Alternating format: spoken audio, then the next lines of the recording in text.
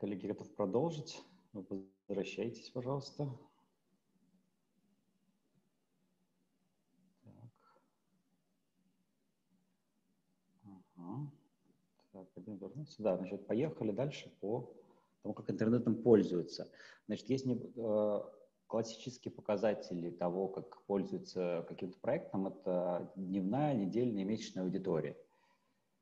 Вот. Если посмотреть, то сравнение месяца с неделей, он немножко отличается, да, то есть чуть-чуть меньше людей пользуются в неделю, чем в месяц, но в целом разница небольшая, вот дневная будет уже там меньше сильно. А, вот, значит, здесь это tns панель, здесь э, три показателя. А, это э, вся Россия, города 100 тысяч плюс, города 100 тысяч минус, да, то есть это примерно чуть больше половины.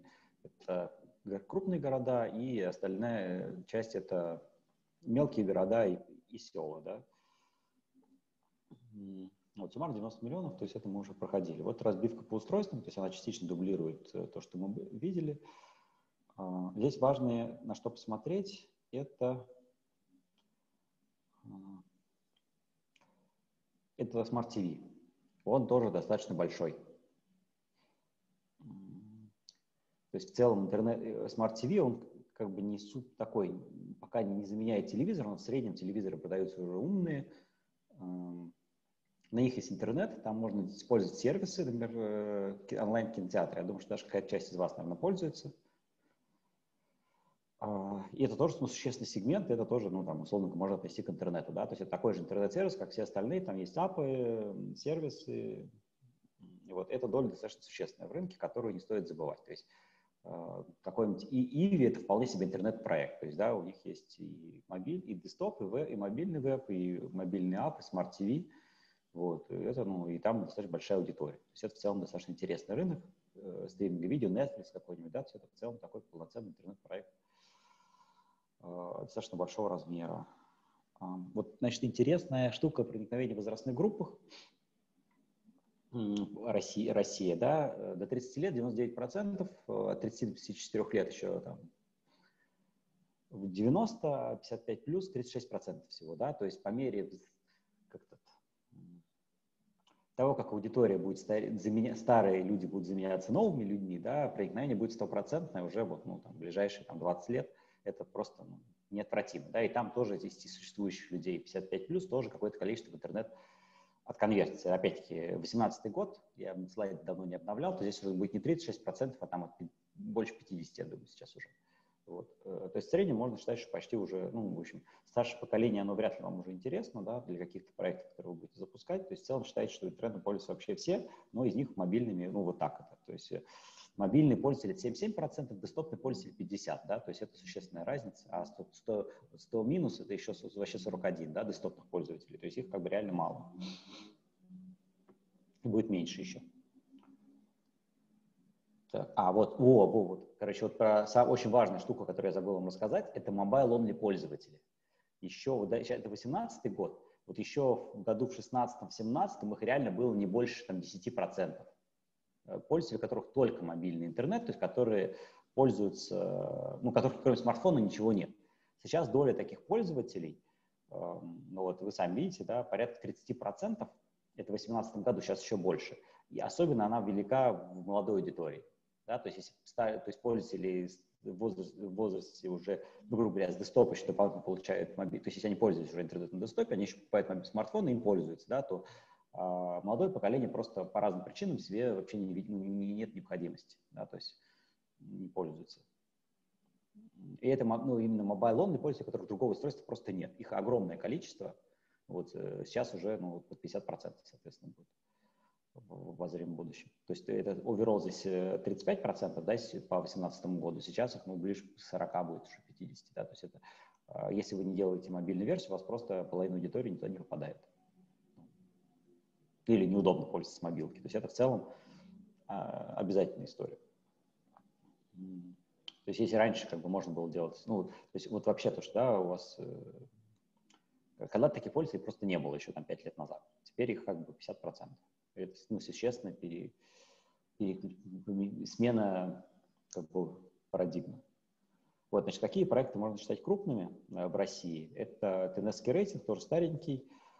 а, дневная, недельная, месячная аудитория чуть-чуть отличаются, но по большому счету три топовых проекта. Это Яндекс, Mail и, э, и Google. Вот вторым эшелоном идет Facebook, Facebook, Авито и AliExpress. Вот. Э, ну, еще Инстаграм еще тоже был сильно подрасти до того времени, когда эти слайды. Вот. А третьим эшелоном идет э, Рамблер и, вот, и все подобное. Вот это к вопросу о том, где выбирать работу, да, то есть несмотря на то, что в Рамблере достаточно много, относительно много программистов, и это как бы, ну, один из как бы, старых столпов, один из трех крупных интернет-компаний да, в России, в общем, по большому счету, работать там никакого смысла нет, потому что это, ну, если вы целитесь как в большие проекты, да, потому что все-таки уже третий эшелон. То есть это, несмотря там много-много активов, но в целом это все мелкотня уже. То есть это не с точки зрения нагрузок, там ничего особо интересного нет. Вот. А, то есть, к сожалению, да, ну, в силу такой монополизации рынка, да, в целом крупные интересные проекты вот в, в топе, то есть, наверное, еще интересные онлайн-кинотеатры, просто потому что там много трафика, и там сразу highload там, с самого начала. Вот. А вот, например, какой-нибудь сайт там типа РИА Новости, там уже ничего интересного нет, ну, потому что нагрузки там уже маленькие там миллион пользователей, это, в общем, в целом ничего такого особенного. Почему ВК не в мейле? А это просто особенность, как ТНС это меряет, ну, как разбито. Вот. А, они вот Яндекс объединены в один проект, а ВК не объединен. Ну, они как бы сильно разные, то есть даже если они в одной группе, они все равно считаются как отдельные. А, Твиттер — это доля в России. Обещаю внимание, это российская аудитория зарубежных сервисов.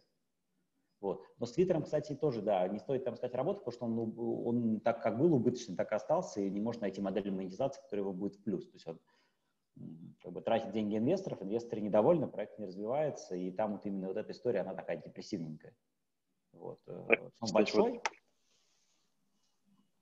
А, еще вот одноклассники, они же, по-моему, больше, чем ВК, нет? Да, э, я нет, где-то слышал, нет, что они нет, номер один в соцсетях, нет? Нет, нет, нет, нет. Это вы очень вас обманули.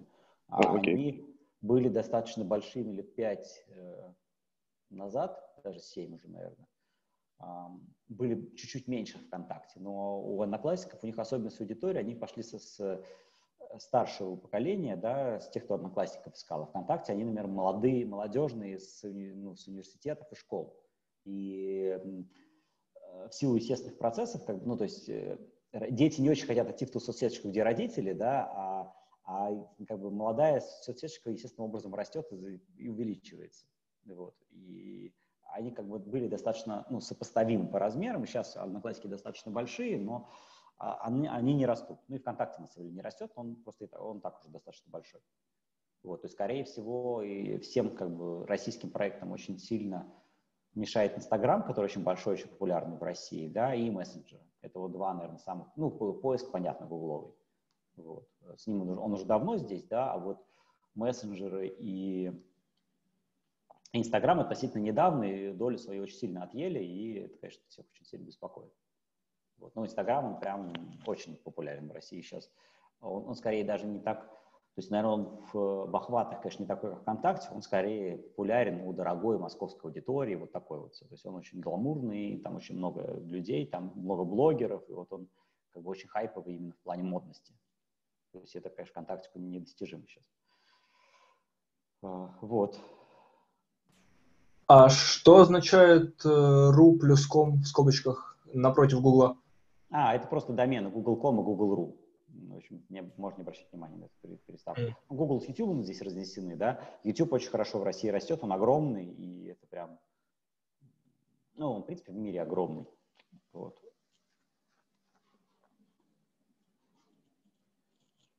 Здесь нету этих интернет-кинотеатров, они тоже сейчас достаточно большие уже, но они хитро разделены. Ну, и они, да, все-таки ну, пока не такие огромные.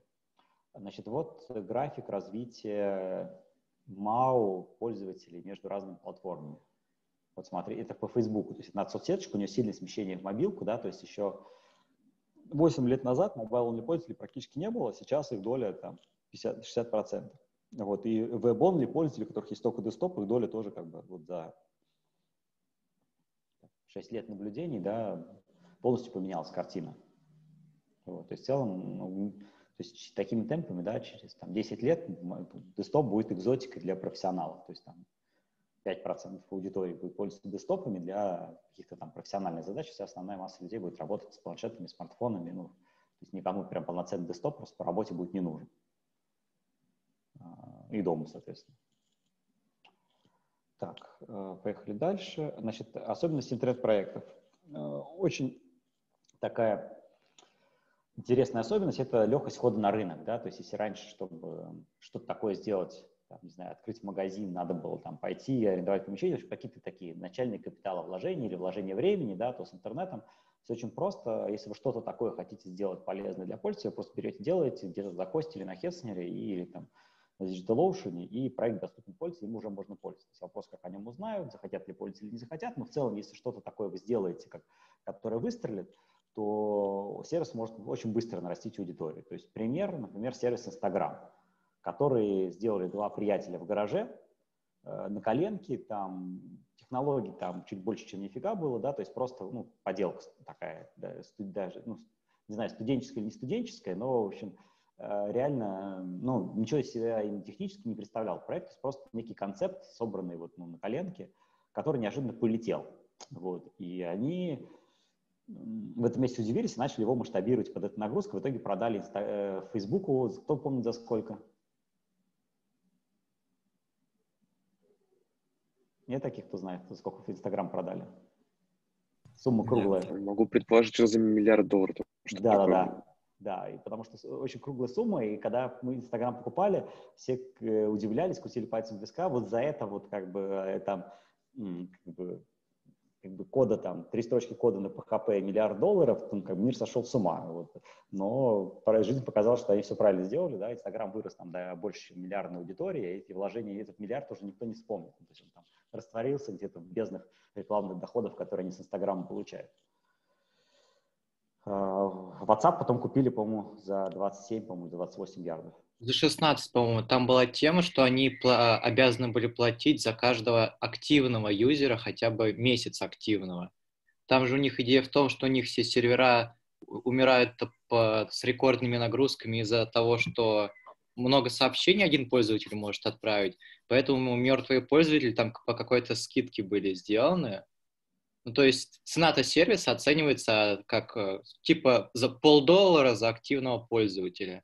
По-моему, какая-то такая у них была веселая система в сделке. Там на Хабре целую там статейку часовую написали. Не читал, надо почитать. Вот. Э, ну, в общем, покупали именно аудиторию, то есть Facebook покупал билет в других пользователей, которых у него нет, и которые без Инстаграма он бы не получил. И то же самое касается WhatsApp. То есть это история про то, чтобы купить сервис, который будет расти и захватывать массовую аудиторию. Вот, то есть я про то, что ну, такие штуки, понятно, что случаются там очень редко, да, но так, и вряд ли случаются с вашим сервисом, но скорее про то, что бывает минуты славы, когда, ну, даже не минуты славы, а когда какие-то проекты неожиданно вот с такого, ну, из никуда вдруг занимают какую-то очень большую долю. То есть там при, при интернете, то есть без особого такого промоушена, скажем так, да, то есть э, и они говорят, что, ну, то есть э, и мессенджеры приблизительно сделали то же самое. То есть все мессенджеры, они стартовали с очень нулев, ну, такой близко к нулевой базе, вот, без промо, ну, без денег, без э, рекламы, потому что они в правильную точку стартанули, которая была, закрывала потребность. Вот. Мессенджеры, в смысле, которые замена смс, которые с авторизацией по телефону. То есть WhatsApp там из товарищей. Вот. Потому что если вы сделали что-то нужное пользователям, пользователи каким-то образом об этом узнали, то дальше это все может расти очень быстро. То есть понятно, что сейчас таких ниш ну, практически не осталось, и очень сложно что-то такое придумать, что прям реально бы выросло и резко стало популярным без такого вложения, ну, кап-затрат, как Яндекс Такси, да, то есть когда, ну, что, что-то такое, что можно сделать просто в интернете, напрограммировав, без ну, там, существенного как бэк-офиса, такого серьезного бизнеса, там, с экономикой, с вложениями капитальными на много лет вперед и прочее. Вот, но теоретически возможно. Вот. И это вот как раз наша часть, да, то есть айтишная, то есть когда мы в офлайновый бизнес вообще не лезем, просто что-то программировали, захостили, это все полетело. Вот. Теоретически какие-то ниши могут оставаться разного размера, да, в которых можно что-то сделать. Вот. И основная идея, в чем отличается IT от всего остального, что это можно, ну, скорость, стоимость доставки потребителя очень дешевая, и можно сразу раздать всем, всем по всему миру. Там есть, ну, там где-то дальше примечание со звездочкой, что есть некоторые сложности, там все-таки, особенно если мы говорим про какой-нибудь стриминг видео, там по всему миру надо все-таки там по, по, поработать с CDN, с хостингом там на разных местах, то есть надо немножко повозиться, но по большому счету все равно это низкая стоимость доставки потребителю, относительно низкая стоимость разработки эксплуатации, потому что вы это можете делать на коленке там в нерабочее время, там как хобби, да, ну или даже там, если это проект, то вы можете, там, не знаю, попрограммировать пару месяцев, посмотреть, какие-то не летит, все это закрыть, то есть вам не нужны какие-то конские капзатраты там на несколько лет, там, как строить завод, да, то есть это в целом напрограммировали, не полетело, перестали программировать, закрыли проект. Вот, поэтому порог входа, он близок к нулевому, ну, то есть на своем личном компьютере, там, в свое личное время вы можете что-нибудь напробовать, как бы без э, хождения в магазин и покупки чего-то дорогого. Вот. Эм, и это все там масштабируется, ну, чем-то похоже на там рынок блогеров, да, если у вас есть талант там и там, там смартфон, чтобы стримить, то можно тоже там, в общем, в этот рынок попасть, да, то есть в целом, ну, только влияет только вот, талант, востребованность услуги, то есть стоимость разработки здесь несущественна, ну, для многих, для многих сервисов, хотя для каких-то понятно, что будет существенно капитально, то есть условно говоря, а, какой-нибудь поиск, например, точно будет капитально затратная история, да, потому что для того, чтобы поиск был полезен, нужно обкачать весь интернет, потратить огромное количество ресурсов на разработку там, поискового движка и на сервера, где все это хранить, а потом, может быть, никто не будет пользоваться. То есть поиск здесь сильно сложнее. А вот Инстаграм, например, легко сделать. Пока пользователь не пользуется, нагрузки нет, денег тратить не надо. Да, значит, рынок очень динамичный, да, даже сам по себе ландшафт, на котором этот рынок работает, он уже очень динамичный, да, за там э, мобильные телефоны появились там в 2005 году, смартфоны появились в 2005 году, в 2010 уже э, их доля была существенная, в 2015 уже была очень большая, там в каком-то 17 стало уже больше, чем десктопа, да, то есть в целом за 10 лет происходит полная смена технологической парадигмы.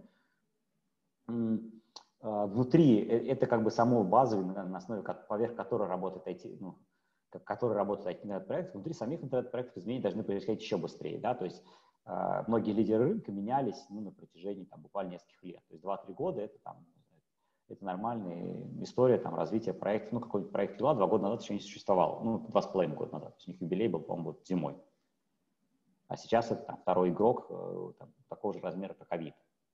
Ну, там, понятно, в него конкретно в этот проект было вложено много маркетинг денег, да, но э, там Delivery, плавка, доставка Яндекс Еды, ну, то есть тоже это там проект как самокат, например, прямо сейчас из интересных сегментов, да, где прямо сейчас что-то происходит, это, например, э, вот эти Black Kitchen, доставка еды, когда, ну, когда нет ресторана, а просто доставляется вот, кухня на районе, наверное, видели такой сервис, да, вот он где-то год назад выстрелил, и сейчас в пандемии стартанули сервисы самоката и Яндекс.Лавка, которые доставляют продукты из черного магазина Black Shop. Вот. Они прямо сейчас очень сильно растут.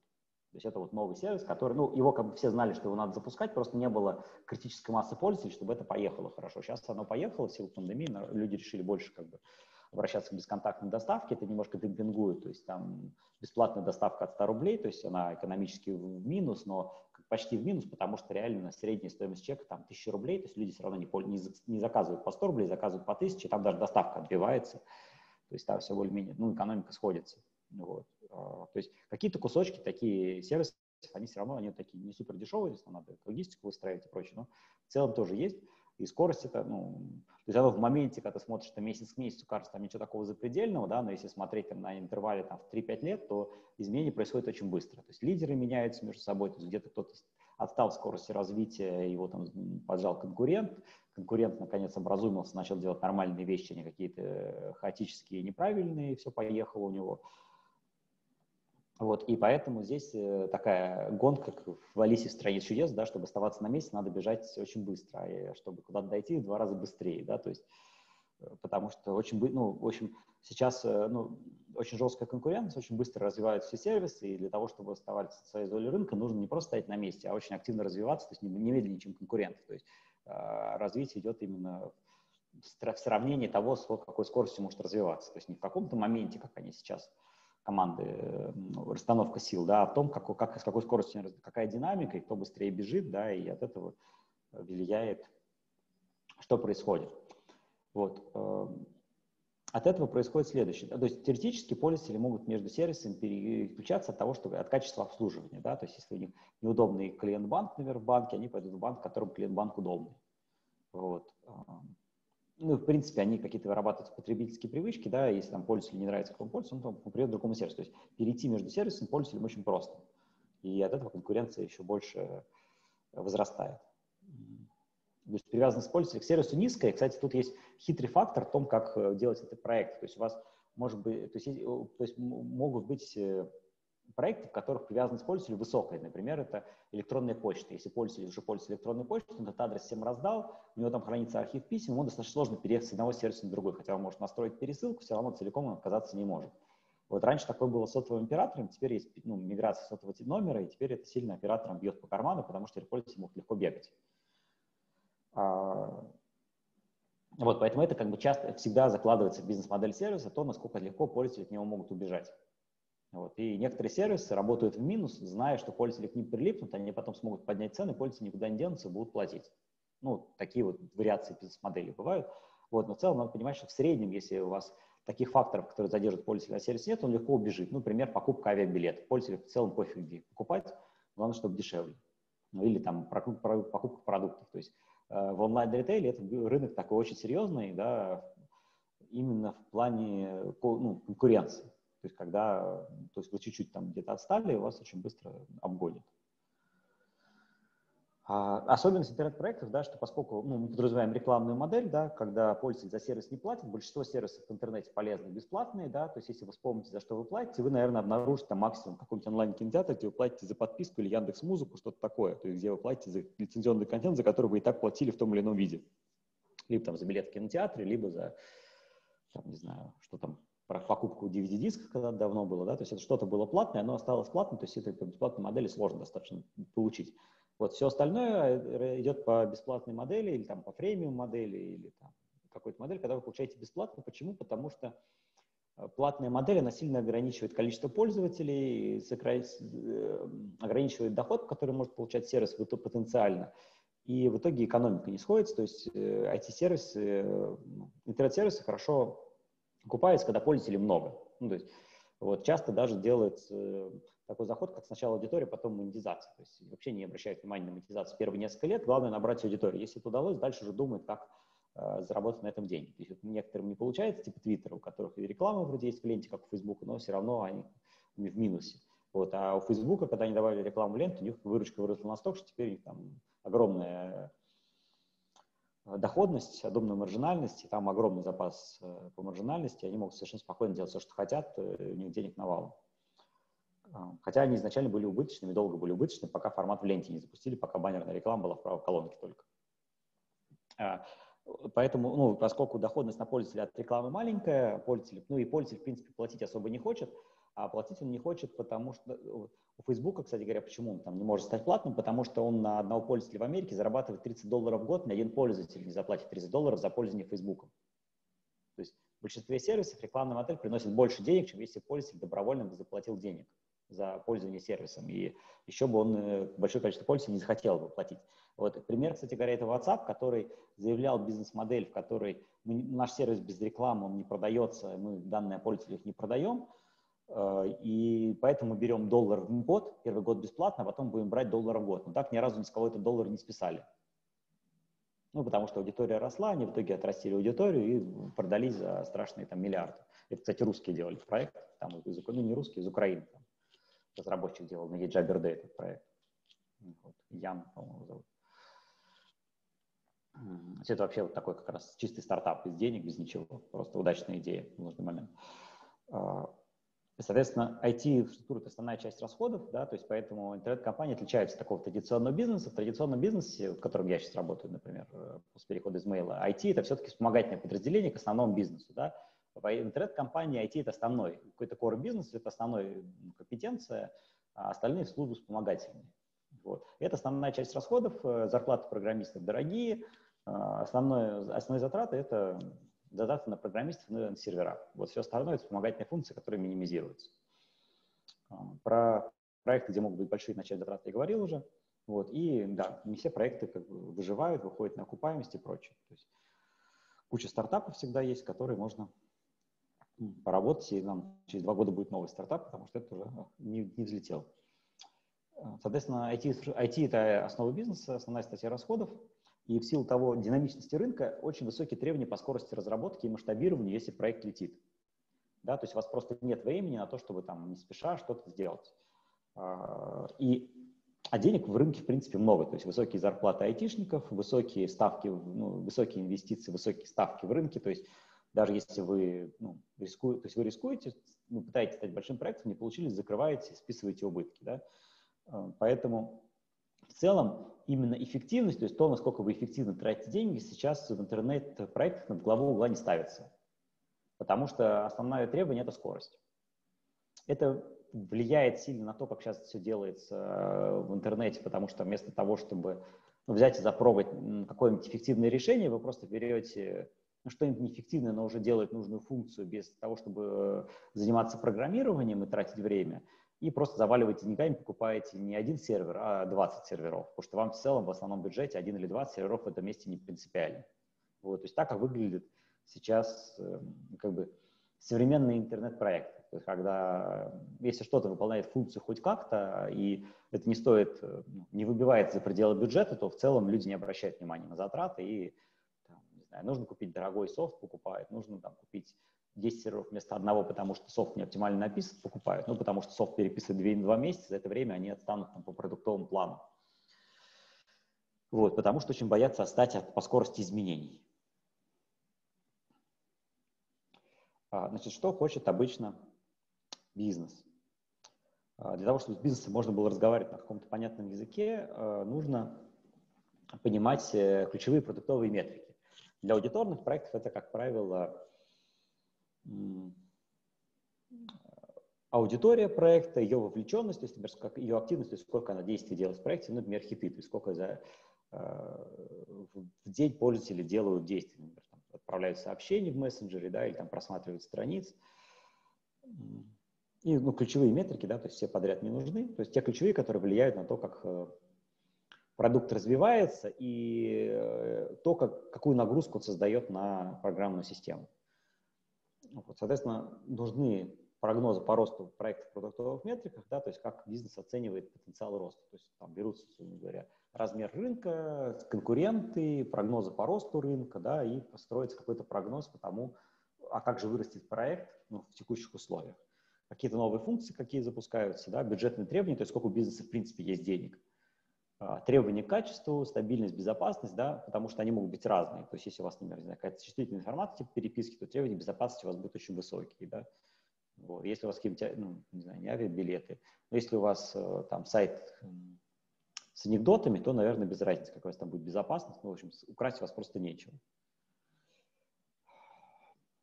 И в рамках ну, заданных как бы ограничений вы планируете, что вы будете делать с проектом. То есть на выходе вы, у вас как бы для соседних подразделений это план по затратам на эксплуатацию и на покупку железа, ну, капитальные затраты, план по найму персонала, да, то есть план по персоналу, то есть сколько вам нужно людей, какой квалификации и так далее. Вот, и где-то внутри вы понимаете, как эти деньги лягут на конкретный уже проект. То есть как вы что-то купите, какой софт вы разработаете и так далее. Значит, еще один кусочек – по тому, где мы вообще находимся. То есть это вот это немножко не наше место, оно просто про то, как в принципе взаимодействуют разные кусочки организации между собой.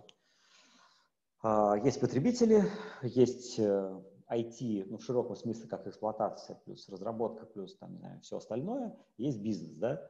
Вот э, роль продукт менеджмента это что-то такое на стыке всех, э, чтобы понимать, как бы, собственно, что нужно пользователю, как это сделать с точки зрения разработки и, и как это все выглядит с точки зрения бизнеса, чтобы это все было окупаемо и полезно. Да? То есть это вот самое такое сложное место на самом деле. Э, очень часто продукт менеджмент он уезжает в какую-то одну из этих сторон, то есть он либо занимается только бизнесом, либо только технологией, либо там как-то, ну, пользователь реже, да, чтобы он прям как-то к пользователям совсем был близко. Вот. А вот так, чтобы прям вот все эти блоки контролировать соединять воедино, это прям суперсложная роль очень часто продукт этим... А ПЗП, к сожалению, продукт менеджмент это не сам, это оно близко, наверное, к программистам, но пониже немножко. То есть считается, что это такая вспомогательная функция, к сожалению. Вот, хотя, ну, по сложности именно того, что человека должно быть в голове, потому как он структурирует информацию, это на самом деле, ну, сопоставимо с тем, что делают э, программисты. Да? И, ну, влияние на бизнес, условно говоря, это один проект, да, программистов там может быть 100. Вот, и без этого продукт менеджмент это все там кухня с грязной посудой, да, то есть это не ресторан. Ну, потому что они делают какую-то хероту, которая никому не нужна и никак не влияет на, на рынок.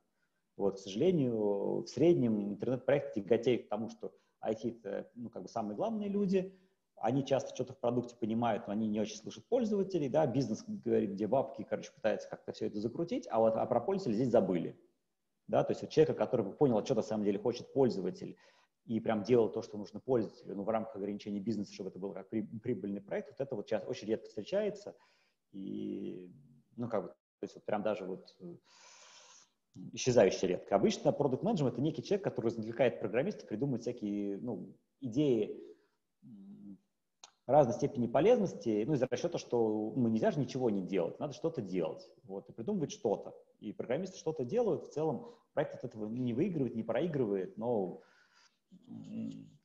находится приблизительно в том же состоянии. То есть вот эта часть, которая такая самая слабая, наверное.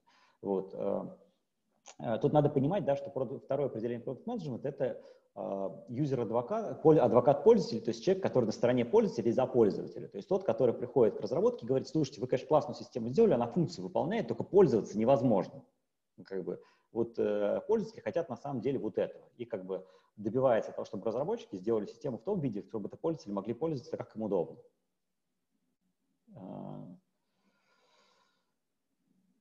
Ну, там, как бы, при этом, да, учитывает бизнес-ограничения. То есть теоретически это могут заниматься сами технари, но технари часто очень уходят в решение инженерных задач. То есть они очень редко как бы прям вот с пользователем на одной волне. Вот. И я почему говорю про продукт менеджмент, потому что это, ну, с точки зрения разработки, это на самом деле основной заказчик. Вот. Просто обычно это выглядит немножко не так. То есть обычно про, про пользователя здесь прям забывают. Бизнес приходит такой, думает, бизнес, блин, я с программистом общаться не умею, чтобы общаться с программистом нужен продукт. нанимает какого-то продукта, который как-то общается с программистом. Это вот такая стандартная история неуспеха. Вот, для крупных компаний очень ну, характерно, в том числе и для крупных компаний. Ну, потому что продукт менеджмент это условно а, какой-нибудь человек, не который там 40 лет, ну, там, не знаю, там, уже там, не знаю, э, у которых там ближе к 40, там, не знаю, который уже там 3, там 20 лет отработал. Это часто люди, которые вот только-только выпустились, там пару лет поработали стажерами, и они уже продукт-менеджеры. То есть почему-то, если для айтишников опыт важен, то для продукт-менеджеров он как-то такой, ну, то есть вот нет такого, что там продукт-менеджер, который там что-то, ну, вот бывает, что да, люди что-то сделали уже, но вот как-то там плохо с тем, чтобы брать прям высококвалифицированных людей. Вот, и часто это очень сильно, да, программисты идут, да, э, я на чатик отвечаю, э, часто идут программисты в продукт менеджеры да, идут, и надо понимать, что это, я почему про это говорю, что продукт это на самом деле непосредственно то, чем занимаются айтишники, то есть потому что то, как будет задизайнена система, как она будет выглядеть для пользователя, какая не будет логика, обычно решают программисты. То есть задача продукта а, подумать о пользователе, и в момент, когда эта система предлагается к реализации, сказать программистам, слушайте, то, как вы придумали, оно функцию выполняет, но неудобно. То есть это именно, или функция выполняется, ну, не какие-то неправильные функции, еще что-то такое, да, то есть, э, то есть то, как будет сделан продукт, то есть как он будет устроен по логике, это все равно решает, на самом деле, разработка всегда. Вот, то есть, ну, часто и бывает, что уезжает к продукту, и продукт начинает рулить разработкой, говорит, слушайте, ну галочка должна быть вот здесь, она должна называться так, ну, полностью как бы, ну, все управление берет на себя, а программист просто реализует. Но это редко бывает. Ну, условно говоря, представьте какой-нибудь Excel. То есть его, ну, сложность, которая внутри этого Excel содержится. То есть э, странно думать, да, что какой-нибудь э, человек, который за пользователя, прям продумает в деталях, как будут работать формулы в Excel, как ячейки между собой. Ну, то есть это реально очень сложная история, вот именно ну, ну бизнес-логика.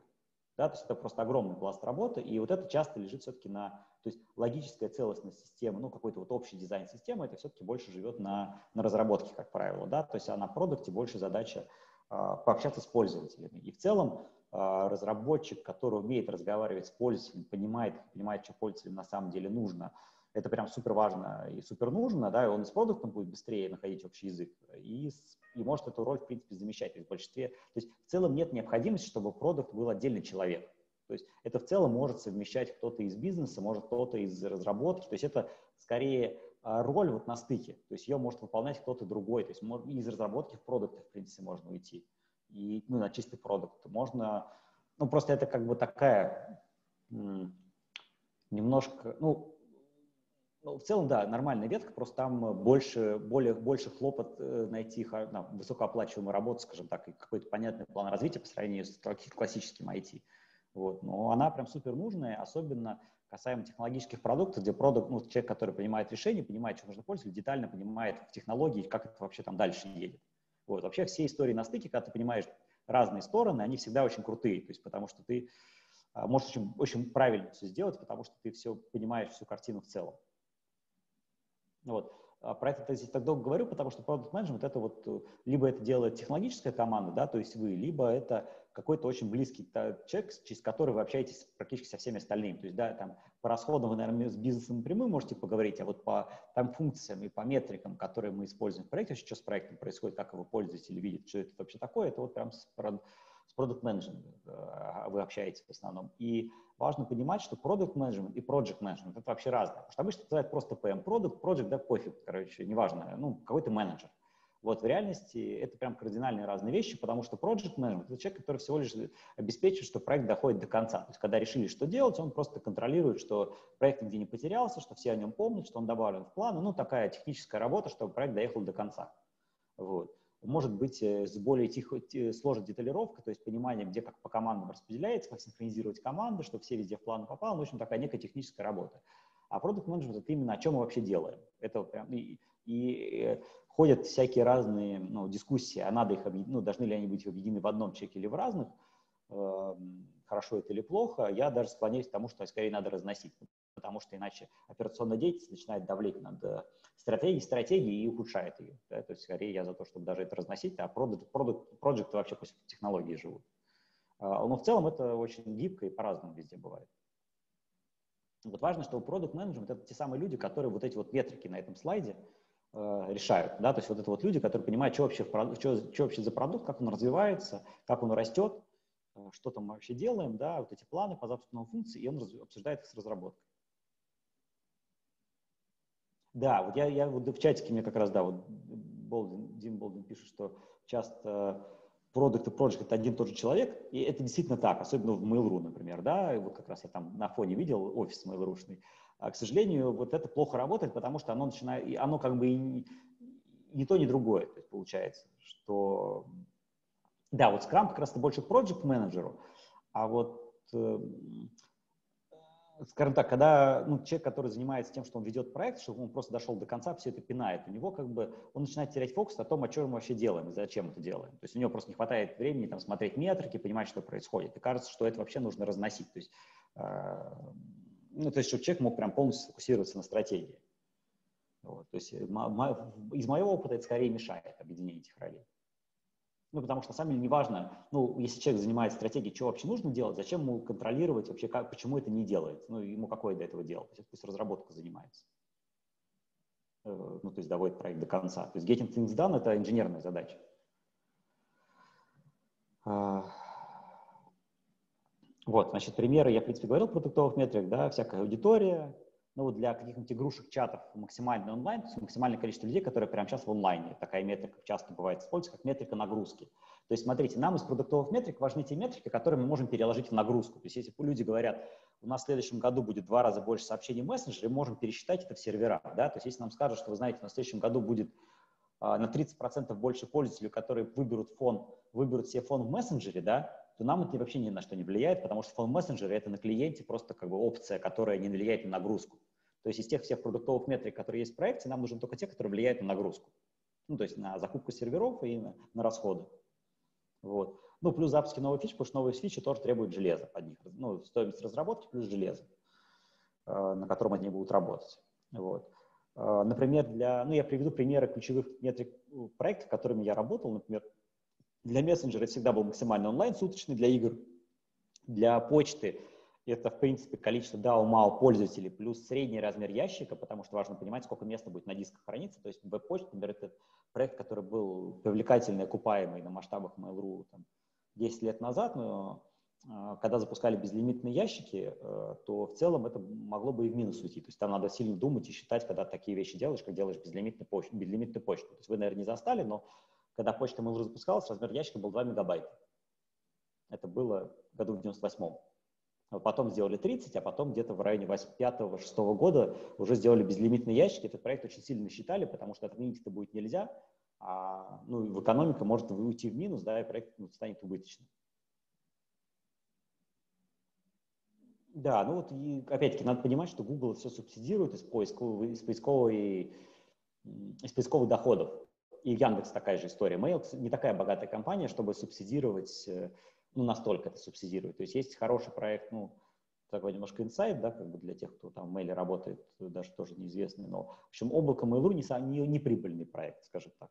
И они, когда раздали по терабайту пользователям, они до сих пор об этом, в этом месте и каются. Ну, они так широкой души раздали пользователям по терабайту, потом ужали до 100 гигабайт, потом ужали вообще до 25 гигабайт, и все равно и кается, потому что в целом проект, ну, как там, Dropbox на платных подписках не окупается. Вот. Э, и там прям ну, огромная дыра на этих терабайтных пользователей, которые успели нарегаться. Отменить нельзя. Вот. Поэтому это вот ну, такой серьезный порасчет.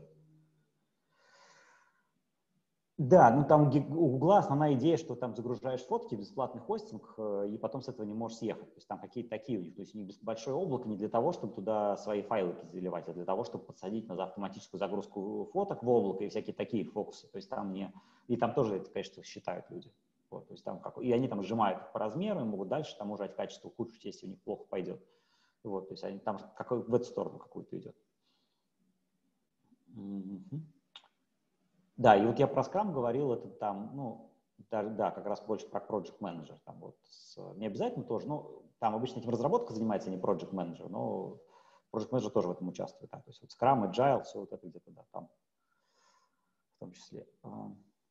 Вот, соответственно, продуктовые метрики, ну, вот я примеры привел, да, то есть по почте, ну, собственно, как считали, то есть как э, в каком 2005 году считали сервера, которые нужно купить в Mail.ru. Брали график роста количества пользователей, роста среднего размера ящика, прикладывали линейку графику приблизительно, да, чтобы экстраполировать его, и на глаз считали, собственно, сколько нам нужно докупить серверов, чтобы этих пользователей обслужить. Вот это вот классический capacity planning э, времен там какого-то пятого-шестого года, и сейчас, на самом деле, также приблизительно считается, я, по крайней мере, также считаю, то есть смотрю примерно линейный рост на ближайший год, а сколько прирастет. Да-да-да, ну, там, берем график э, текущего ну, метрика, рост метрики и смотрим, какое значение будет через год с, таким, с такой динамикой. И туда ну, смотрим, сколько нужно докупить оборудования. Вот. Ну, в общем, как-то так это выглядит. Угу. Так, значит, наша задача здесь это измерение продуктовых и технических метрик, да, то есть э, бизнес и продукты никакие метрики померить не могут. Они могут только сказать, что нам такая метрика нужна. То есть мерить их все равно технарям и корректность реализации на совести IT. Э. Вот. А дальше для того, чтобы, ну, собственно, планировать все, нужно, ну, закупка оборудования, нужно понимать, как продуктовые метрики соотносятся с техническими, да, то есть сколько нужно купить, то есть сколько не знаю, сколько запросов в секунду, сколько съедает ресурсов на сервере, да, и, соответственно, чтобы можно было пересчитывать запросы в серверах, процессоры там, и так далее. Вот. Э, то есть важно понимать, что задача IT — это как раз, когда нам сказали, в нашем проекте будет пользоваться 100 миллионов человек, посчитать, сколько нужно подать серверов каким-то образом. Это вот то, что наша задача нашего как раз курса. Вот, эксплуатация текущей системы, да, то есть решение всех э, вопросов эксплуатации, чтобы это все продолжало работать, планирование изменений, реализация изменений, да, то есть такое полное управление всем вот этим вот техническим проектом. Значит, ну, примеры технических метрик, да, то есть продуктовые мы обсудили, там какое-нибудь количество пользователей дневное, то технические метрики обычно вот какие-то такие, то есть это количество запросов в секунду, оно может быть RPS, может быть QPS называться, или, либо это request, либо queries, там, в зависимости от того, как у кого-то терминология принята какое-нибудь количество пакетов в секунду на сетевом оборудовании, мегабитов в секунду на сетевом оборудовании, ну, какие-то одновременные соединения и там размеры в гигабайтах просто хранения данных. То есть, в принципе, эм, ну, или какие-то, не знаю, в штуках может что-нибудь измеряться, пользователи в штуках, да, как симультейнс, конечно, тоже в штуках, ну, не единицы измерения. Э, в общем, любые метрики, которые похожи на что-то, на что можно такое пощупать, пощадить. Ну, то есть это по большому счету ресурсы серверов, да, то есть в том или ином виде. То есть у вас на сервере есть э, не так много ресурсов, которые можно потратить. Есть процессор, память, э, оперативная, постоянная, сеть. Ну и, в принципе, все, наверное, да? Там есть всякие еще узкие места, которые нужно учитывать, но по большому счету это все. Ну вот и ваша задача понимать, как одно мапится, ну как э, продуктовые метрики, пользователей, количество пользователей мапится в нагрузку на сервера. Сколько, ну, сколько нужно в итоге серверов. Так, так, так. Так, про продукт менеджмент поговорили. Значит, еще вот одну штуку хочу рассказать, прежде чем перейду к управлению мощностями. А, или давайте здесь закончу, наверное. Да, вот э, прям управление, я, наверное, у меня это будет потом-потом, я про это вернусь э, где-то в конце курса, о том, как мы это будем переводить друг друга. Сейчас я вот еще вот про это поговорю, что у нас э, помимо вот этого стыка э, на уровне продукта еще есть стык на, между разработкой и эксплуатацией. С точки зрения как бы задач, стандартное разделение такое, enterprise, скажем так, разделение ролей выглядит так, что есть отдельная разработка, которая что-то разрабатывает, да, ну, там, по техническому заданию сдает, проходит там эм, тестирование сдается в боевую эксплуатацию, потом используется уже другими людьми, независимо от разработки. То есть разработка как бы разработала, ну, условно говоря, предположим, что разработка разрабатывает программный продукт 1С, его разработала, протестировала, записала на болванку, продала в магазине, кто-то его купил болванку, поставил у себя и ее эксплуатирует, эту программу. Там, не знаю, базу данных настраивает, к ней бэкап и прочее. Вот. Э, в такой схеме то же самое можно построить внутри организации, когда эти люди работают в одной компании. Э, проблема тут в том, что у людей принципиально разные цели. У разработки задача э, ввести изменения, что-то поменять, а задача эксплуатации – стабильность. Соответственно, идеальная, идеальная ситуация для системных администраторов, когда вообще ничего не меняется, ничего не раскладывается. Идеальная задача для разработчиков, когда все раскладывается максимально быстро, максимально рано, в максимально сыром виде, потому что максимально багов словим и починим.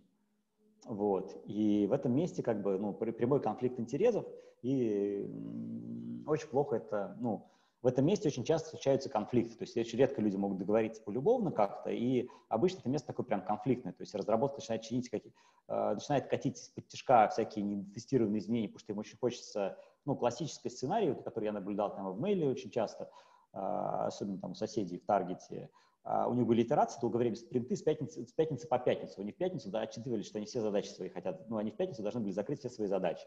Вот, соответственно, в пятницу они катили не готовый к, рели, к релизу релиз, чтобы отчитаться, что все задачи в срок выполнены. Вот, и, соответственно, в пятницу вечером собирался релиз, отдавали разработчикам, э, эксплуатацию, выкатывали, все взрывалось, как бы и так каждую неделю. То есть они ну, где-то месяца через три или четыре они такие осознали, что, наверное, катить релизы в 5 часов вечера не очень хорошо, и хотя бы сдвинули планирование итерации до середины недели, я дальше буду говорить, да, что, э, ну, хотя бы, чтобы это взрывалось в середине недели, когда есть кому чинить. Вот, но в целом это вот история, то есть оно из с обоих сторон люди начинают портить жизнь друг другу, да, то есть разработка начинает копить непротестированный код, а эксплуатация говорит, а слушайте, у вас код плохой, а мы вообще катить не будем, там, катить вам будем раз в неделю, и только после там пяти отметок от QA, что они действительно тестировали, не просто галочку поставили, в общем, всячески мешать друг другу жить. Вот, поэтому в какой-то момент появилась идея, что так жить нельзя, и где-то вот на стыке разработки эксплуатации и тестирования нужно как-то вот сделать так, чтобы ну, это все как-то поженить. То есть в итоге это пришло к тому, что есть, ну, это называется дурацким словом DevOps, э, и даже некоторые считают это методологией, это еще как-то, но, в общем, идея такая, что это все сливается в какую-то одну сущность, у вас перестает быть такого жесткого разделения, а, начинает отсутствовать общее такое разделение, что одни отвечают за, за стабильность, а другие отвечают за изменения, а теперь в целом команда отвечает, одна команда отвечает за стабильность, и изменения. То есть, ну, условно говоря, она должна и фичи быстро катить, и не ломать при этом ничего. То есть это одна зона ответственности, один KPI становится, грубо говоря, у команды. Вот, и сами ну, договариваются какие-то процедуры и прочее, это все оперативно улучшает. Это вот то современный мир. То есть в целом э, все пришли, ну, плюс-минус все пришли к тому, там, кроме таких совсем уж э, enterprise компаний, да, что весь, все такие быстрые компании, скажем так, пришли к тому, что для того, чтобы делать все быстро, вот это вот разделение на эксплуатацию и разработку нужно убрать. И сейчас по факту разработка отвечает за эксплуатацию везде. То есть э, делать это ну, за счет всяких хитрых процедур, но по большому счету так. А, не, не уверен, что DevOps внедрили впервые именно в Google. То есть Google действительно он есть, э, просто по факту, потому что там нету действительно эксплуатации как таковой. То есть там все делают программисты, э, полностью проект свой. У них есть некая штука под названием SRE, которая помогает программистам более стабильно обеспечивать, улучшать стабилизацию, ну, какая, какая улучшать стабильность проекта, но в целом не у всех проектов есть SRE, например, только у самых крупных и важных. Э, у нас в Густуф вообще нет тестировщиков практически.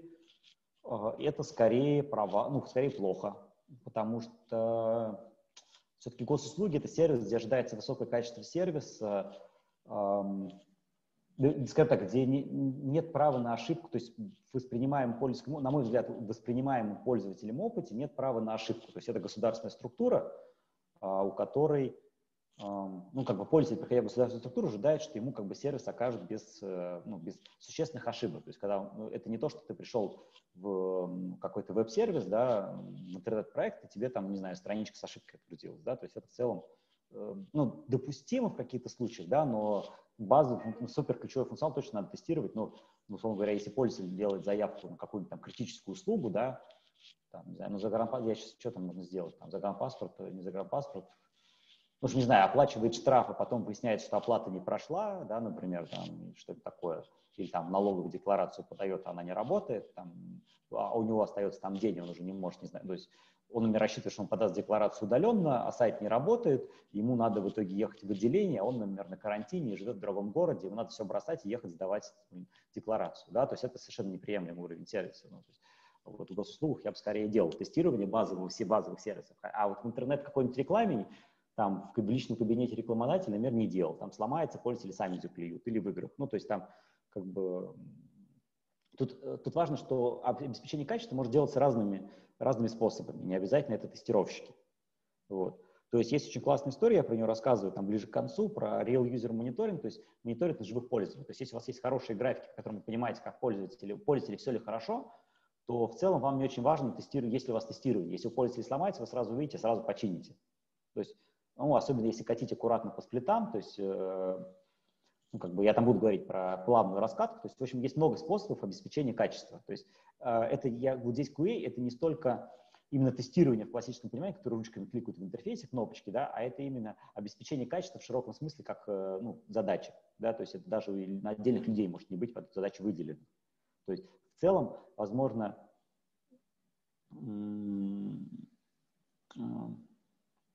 возможно, схема, при которой э, обеспечение качества полностью уезжает на тех же людей, которые занимаются разработкой, например. То есть это, ну, при определенных процедурах это все вполне возможно. То есть когда вообще нет выделенных людей. И это может быть достаточно хорошо работать. Вот. Важно понимать, да, что вот эта вот роль DevOps, э, когда кто-то отвечает сразу за все, как бы, это вот как раз приблизительно то, про что мы говорим. Да? То есть это вот некая роль CTO, технического директора, там, ответственного за IT, то есть э, некая роль, которая обеспечивает ну, как бы, ну, связанную работу всех как бы, требований, всех подсистем и прочего, да, то есть а, никогда, ну, как бы все работают разрозненно. Это вот, в принципе, вся история про такую коллаборацию очень тесную.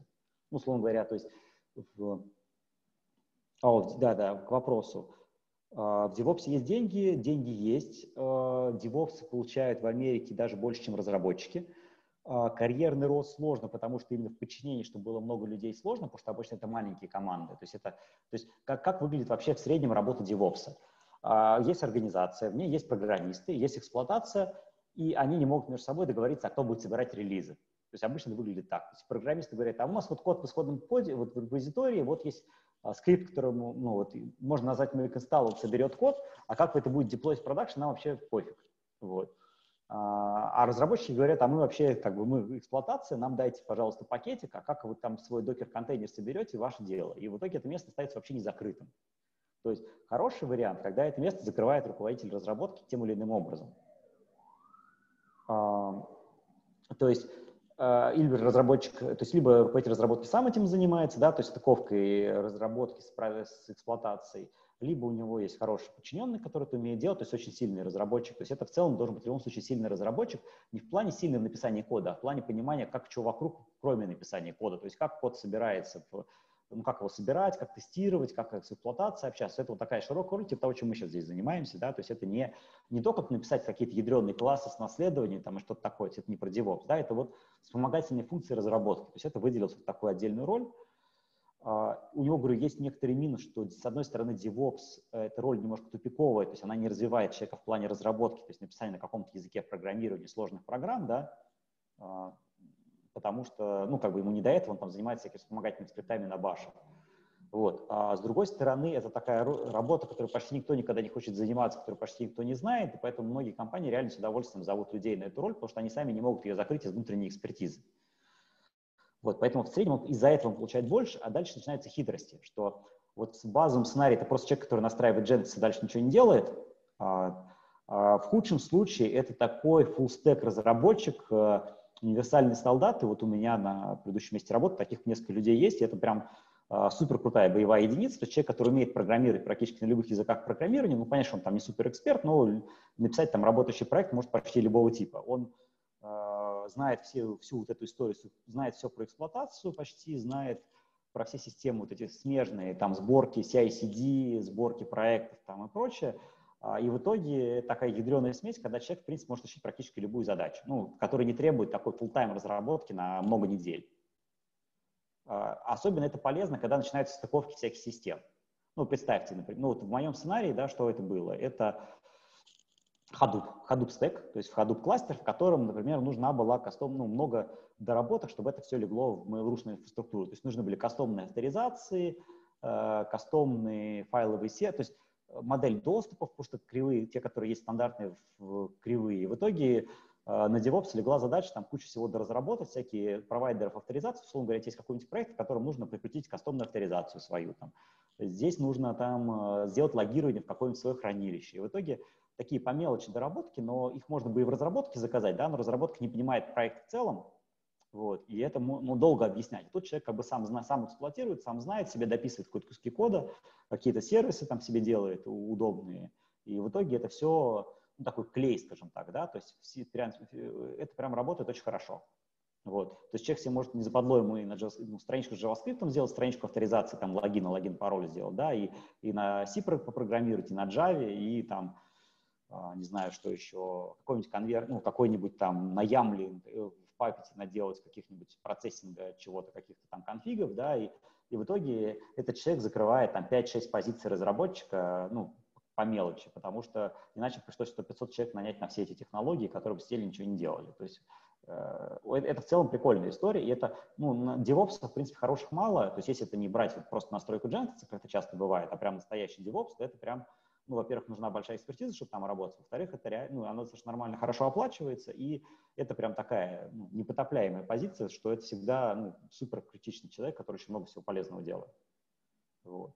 Это в целом ну, очень перекликается с руководителем какой-нибудь группы разработки, такого тоже всеядного, то есть который не одной технологией занимается, а в целом архитектурой занимается. Это много про архитектуру, все точно такая вот область смежная с соседними, то есть э, на стыке эксплуатации, разработки, надо все эти куски знать, все это вот такой генералист широкого профиля, да, то есть там разработчик там на, сразу на всех языках, там прочее. То есть это вот, ну, прикольная история, и она очень часто выручает. То есть иначе без этого просто как-то получается куча разрозненных компонентов, которые невозможно склеить, пока нет человека, который это может вот собрать все воедино.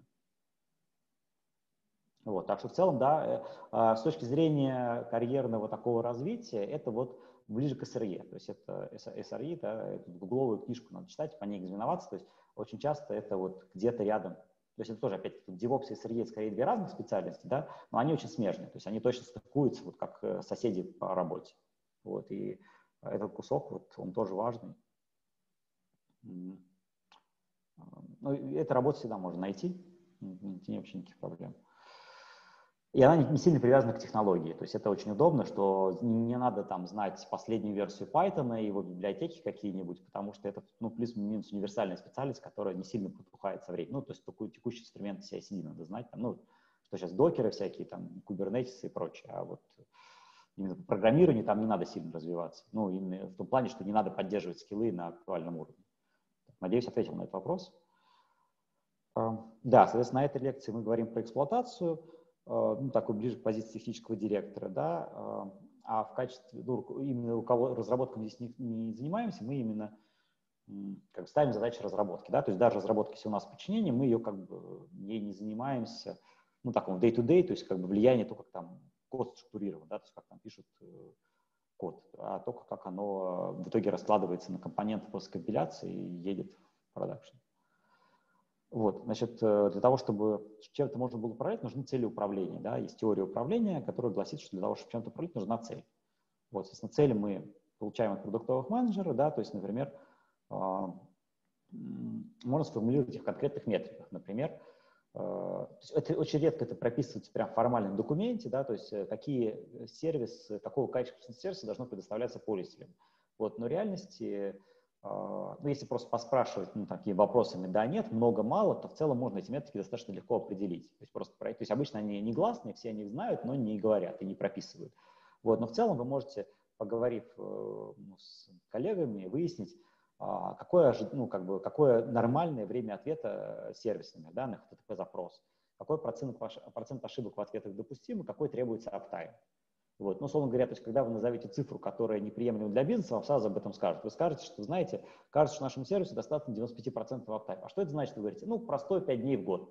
И такой бизнес сразу говорит, ни в коем случае, типа там, сколько нужно заплатить, чтобы этого простое не было, да, и вы тут дальше можете торговаться уже. Вот. То есть между тем, какая будет доступность и сколько это будет стоить. А, это вот, собственно, тот разговор предметный, который, по идее, должен в этом месяце быть. То есть ну, проведен формально или неформально, или там каким-то образом, то есть все равно кто-то на должен знать вопрос. Вот. Хорошо бы, чтобы метрики были измеримые, да, иначе у вас как бы будет вкусовщина. То есть мне кажется, что ну, там, программисты работают хорошо, а мне кажется, что плохо, да, как бы, ну, премию платить не будем.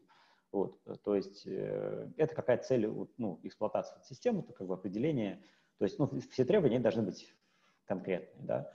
Э, это все зафиксируется в неком сервисе, ну, в целях, да, естественно, от этого мы это все в... Это, вот, это больше цели про эксплуатацию, да, про стабильность. Вот, э, там дальше куча требований по прогнозу, запуск новых функций, там прочее. Ограничения по бюджету, по качеству работы сервиса, который мы там сформулировали. Вот в сумме, да, вот в рамках всех этих ограничений, то есть вы должны, то есть у вас ну, такая работа ну, такая немножко расстрельная, да, то есть вам нужно выпустить все новые функции в срок, не положить при этом проект, вложиться в бюджет, эм, и как бы, да, что еще там, и еще, что пользователи там были довольны, да, что все это было еще удобно, там хорошо, там все это дальше росло, там, ну, продукт, проект рос в метриках, да, э, и у вас еще сроки очень сжаты, то есть это на самом деле задача, ну, сложная вот, скажем так, да, то есть это вот только выглядит современный мир. И поэтому тут, конечно, все, все, что может вам упростить задачу, оно используется, да, то есть если можно там использовать CI-CD, там, не знаю, катить без тестирования, все что угодно, только быстрее деливерить фичи, да, ну и укладываться во все ограничения. Вот, для доступности, вот я тут расписывал, э, вот реальная доступность, если вы посмотрите в SLA сервисов, это где-то 99,5. 99, то есть если вам кто-то говорит, что у него 4 девятки, не верьте этим людям. То есть, в общем, надежность интернета, э, интернета в целом как сети живет где-то между 99,5 и между 99 и 95. Вот где-то в этом диапазоне живет э, интернет, в зависимости от того, ну, о чем мы говорим. Но в целом вот 99-95 это предел того, что вы можете достичь в интернете. То есть интернет точно менее надежен, чем вот эта цифра, как 3D, как 3D ну, там, то есть вот где-то в районе трех девяток это реалистичный сценарий. Для того, чтобы подстраховаться и не платить штрафы, компании типа Гугла заявляют доступность 99,5, если не ошибаюсь. Можете проверить их SLA, э, домашнее задание. Вот, кстати, вам можете проверить SLA, которые прописывают публичные сервисы типа Google Cloud. Вот там будет и, и Gmail. Там что-то вроде 99,5. Вот еще по SLA я забыл важно сказать, что SLA обычно называется SLA, поэтому здесь пишу Service Level Agreement.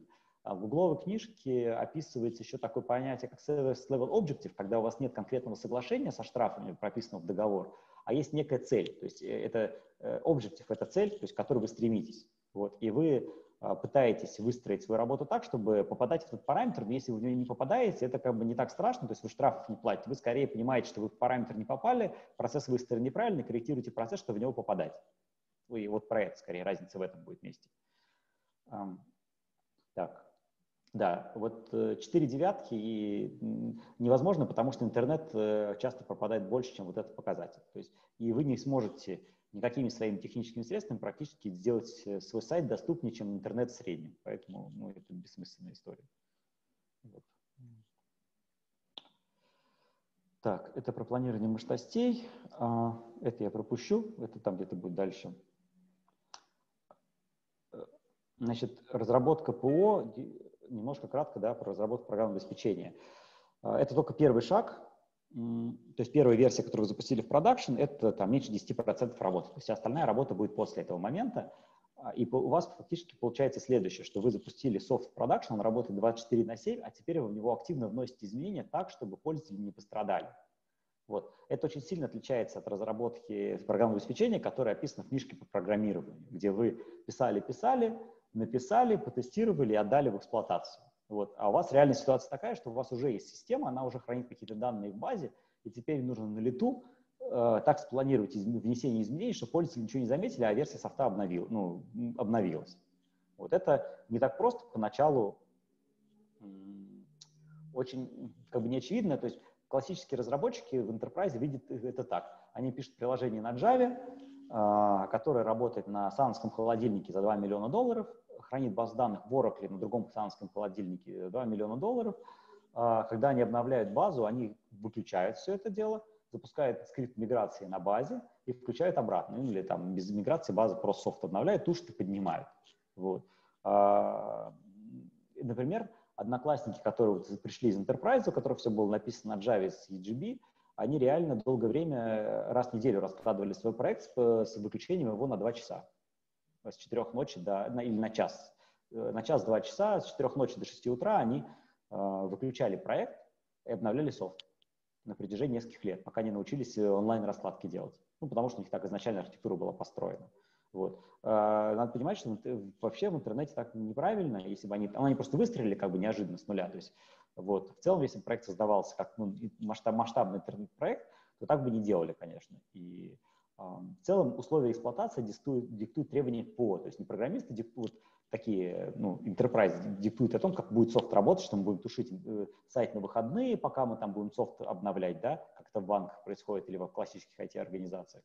А, они, а наоборот, мы говорим, что вот интернет-проект — это постоянно живущая штука, которую нельзя останавливать, эти требования, они как бы безусловно, то есть разработки вынуждены им подчиняться, да, и а, иначе просто работать не будет. То есть в итоге вот эти условия эксплуатации, о том, чем я буду говорить на этом курсе, это то, что вам нужно изучить э, и понять, ну, как бы, лучше как бы при, на практике работать в конкретном проекте, да, чтобы применять при разработке. То есть эти вот требования к тому, как должен быть устроен софт с точки зрения эксплуатации, чтобы его можно было использовать в больших системах. Это вот эта история.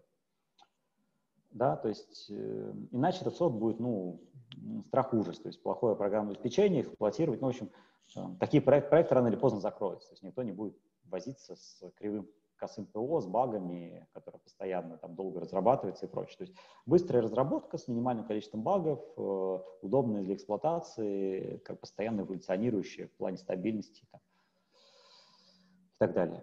Вот. Значит, ПО, которое в боевой эксплуатации не было, не считается рабочим. То есть в целом как бы софт который написали, но никто никогда не использовал, считаю, имеет нулевую ценность, то есть вы его на флешке, если вдруг там, не знаю, написали, писали, проект закрыли, вы его там не продадите никому даже за рубль. Ну, и, ну никто не, не, даже не будет пытаться это поднять в, в реальной жизни.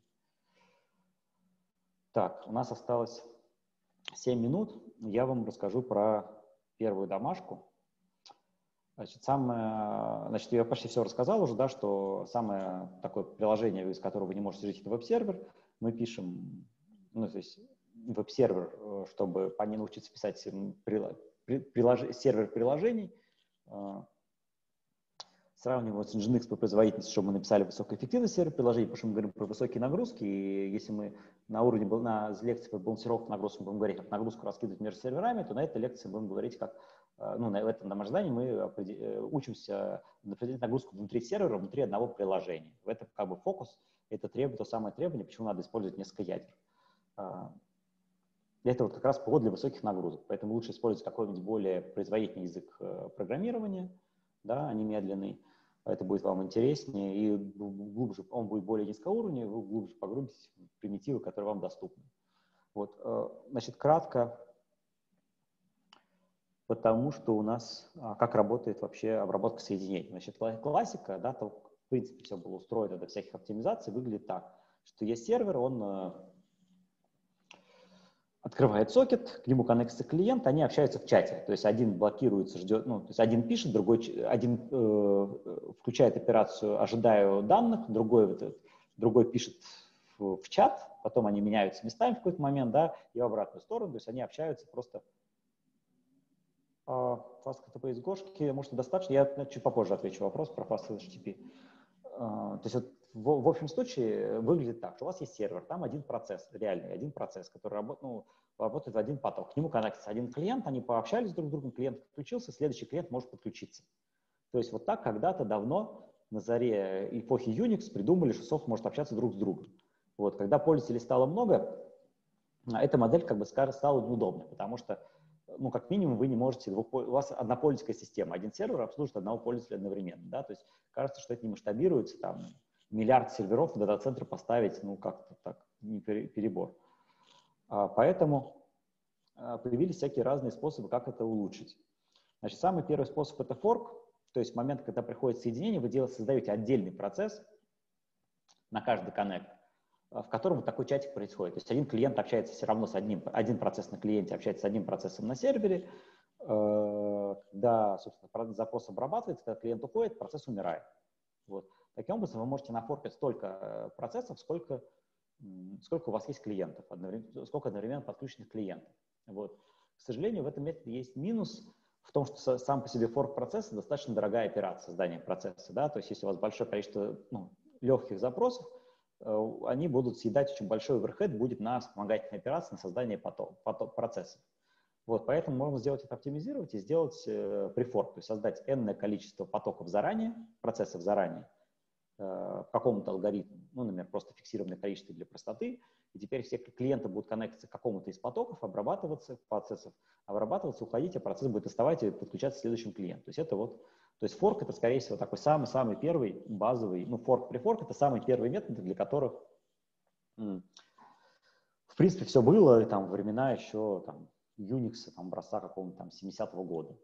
Вот. Дальше сложнее, а, потому что процессы тяжелые, а, поскольку все знали, что процессы тяжелые, потому что их полностью там много ну, много всего копируется. В какой-то момент придумали такую штуку, как легковесные процессы или треды, когда у процесса все то же самое, только разделяемая память между кусками. То есть не нужно всю память. То есть при форке процесс копируется целиком со всеми данными, это достаточно дорого, а при э, создании треда создается только управляющая структура, отвечающая за шедулинг, а данные общие между потоками. То есть между процессами приходится синхронизировать, ну, потоком приходится синхронизировать между ними доступ, чтобы там рейс-кондишенов не было, но и что усложняет э, многопоточное программирование, но зато экономия на создании потоков.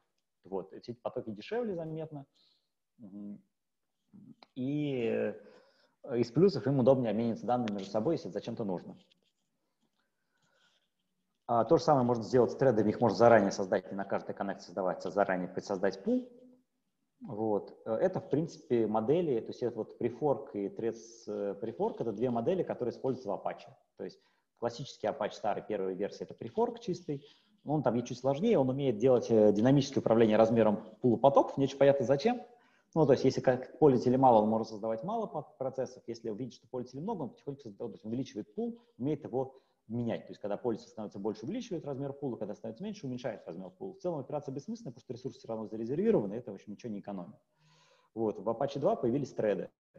Вот этот метод, ну, в сумме эти два метода достаточно слабые, потому что если мы говорим про большое количество соединений, то есть это так называемая проблема 10 тысяч соединений, да, то 10 тысяч одновременно работающих процессов или даже потоков э, в, в Linux вызывают, очень, между ними очень дорогой становится шедулинг, они в целом друг другу начинают сильно мешать. То есть эта история, э, то есть в Apache, например, для примера, в Apache первом а, константа, которую нельзя переопределить без справки исходного кода Apache, 256 максимальное количество работающих процессов. Да? То есть у вас э, не 10 тысяч соединений, может быть, одновременно, а 256 на сервере. Да? То есть по современным меркам это вообще ни о чем. Вот. А, и реально, даже если эту константу переопределить и написать, там, например, 10 тысяч, но работать будет крайне фигово, то есть 10 тысяч одновременно работающих процессов, это прям очень дорого для шедулинга. То есть ну, шедулер просто не справится. Ну, будет очень, на шедулинг там будет уходить там больше 50% CPU. Вот. А когда начали думать инженерно, ну, инженерным подходом, что с этой проблемой делать, пришли к следующему, что это, ну, в принципе, везде пошло и в сетевых карточках, я буду про железо это говорить, и вот в программировании софта, пришли к такому пониманию, как пулинг, то есть когда а, вы берете, кладете все сокеты, которые у вас есть в корзинку, сейчас посмотрю, есть у меня что-то там вот здесь, в, ну, какой-то, все сокеты, которые у вас есть подключены, кладете в какой-то массив, вы их опрашиваете по циклу. То есть одна программа в один поток берет и опрашивает все сокеты. Ей где есть данные прочитать, где прописать. Вот, то есть первое, то, что системный вызов сделали select, то есть него можно передать до 1024 файловых дескрипторов. В запросе массивчик, и в ответ вам приходит массивчик, в котором размечено, на каких сокет файловых дескрипторах появились данные, которые можно прочитать, либо готовные к записи, что вы можете туда записать. Вот. 1024 а, сокета достаточно мало, плюс вот эта вот история с копированием огромного массива, ну, массива на 1024 элемента, достаточно медленная, достаточно быстро появились более. Select просто есть во всех, он давно появился, он есть во всех реализациях Unix. Вот. Э, это ну, древняя технология, никто не пользуется, только fallback, когда больше ничего нет. Поэтому э, в FreeBSD в Linux появились такие штуки, как QEPool, то есть э, специализированные именно конкретно в этом операционной системе механизмы пулинга, работают они приблизительно таким образом. Вы складываете, говорите, складываете специальным системным вызовом, говорите ядру, что положить этот сокет в пул, то есть ядро внутри себя для вашего процесса хранит всех файловые дескрипторы в одном большом пуле. Вы там можете напихать хоть 20 тысяч этих, ну, там 100 тысяч можете напихать файловых дескрипторов, а в ответ оно вам, вы говорите диспатч, то есть ну, запускаете event loop говорите, а теперь верните мне а, сокеты, на которых что-то появилось. Он возвращает вам список сокетов, либо по одному их возвращает, там, как, ну, там, как удобно. Вот. И вы, ну, наверное, скорее по одному, а он может просто внутри себя это как бы группировать и отправлять их пачками, чтобы вам их несколько штук подряд вываливалось.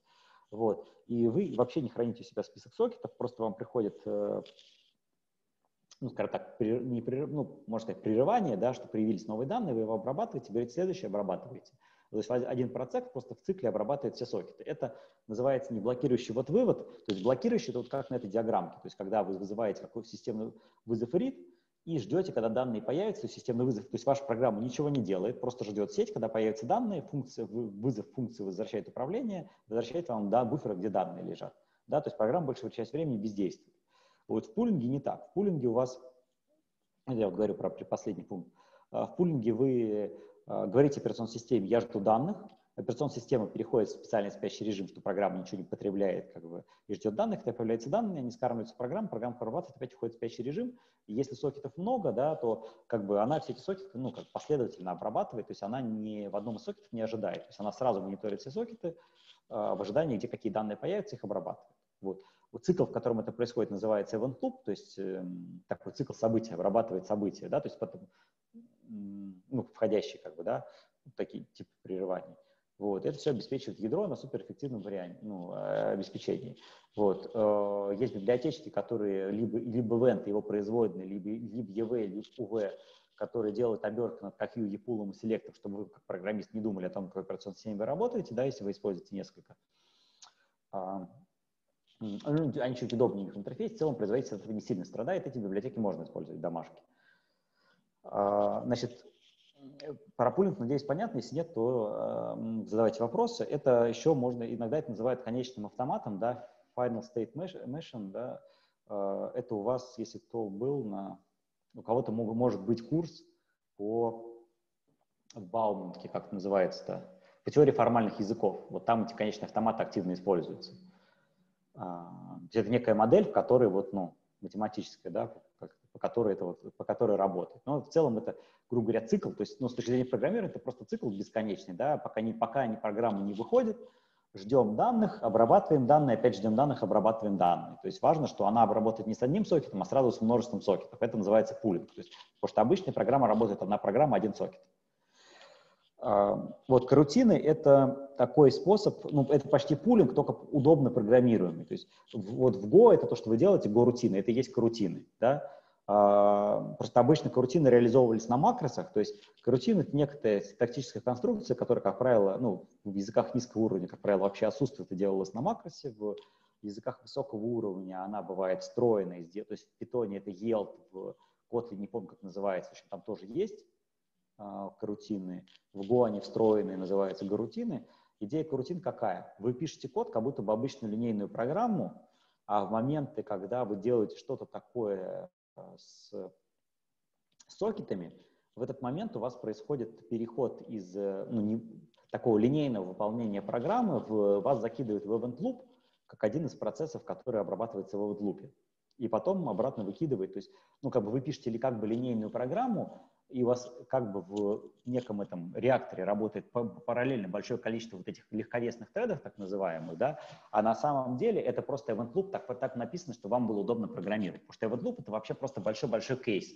Если вы находитесь в таком статусе, то есть, ну, если соединение находится в статусе X, то сделать то-то. Если в статусе Y, то сделать то-то. То есть это на самом деле очень неудобно программировать, потому что, ну, event loop это, э, программирование, event loop это такой огромный-огромный то есть у вас разные, ну, обработка одного запроса раскидана по многим кускам кода. То есть вы сначала, ну, у вас стоит машина, у вас переключится соединение, переключается там между состояниями. Соединение принято, принят заголовок, приняты данные, отправляем боди. То есть у вас постоянно какое-то состояние, которое меняется, и вы делаете кейс от состояния, попадаете в какой-то кусок кода, который обрабатывает эту конкретную микрооперацию. Все это очень тяжело, неудобно программировать. И для того, чтобы эту проблему решить, чтобы код был не запутанным, придумали крутит. То есть вы пишете как будто бы линейный код, а он на самом деле преобразуется в event loop тем или иным образом. Либо на макросах, либо это там свойства ну, в языке. Вот, то есть это в целом с точки зрения эффективности это одно и то же, ну, кроме случаев, когда у вас разваливается абстракция, и внутри э, крутин у вас какая-то операция не ну, отправляется, э, блокирующая операция, какая-то операция а, обнаружится блокирующая операция. То есть на языке, ну, если вы программируете не на Go, а на каком-то другом языке, то основной риск у вас в том, что вы, а, делая какую-то операцию, не знаете, будет ли она блокирующей или не будет, и попадет она в event loop или нет. То есть а, характерный пример — это Python, где вы можете на GEvent написать какой-нибудь быстрый синхронный сервис, типа, например, Tornado. Ну, вот это как раз пример Tornado, это такой сервис.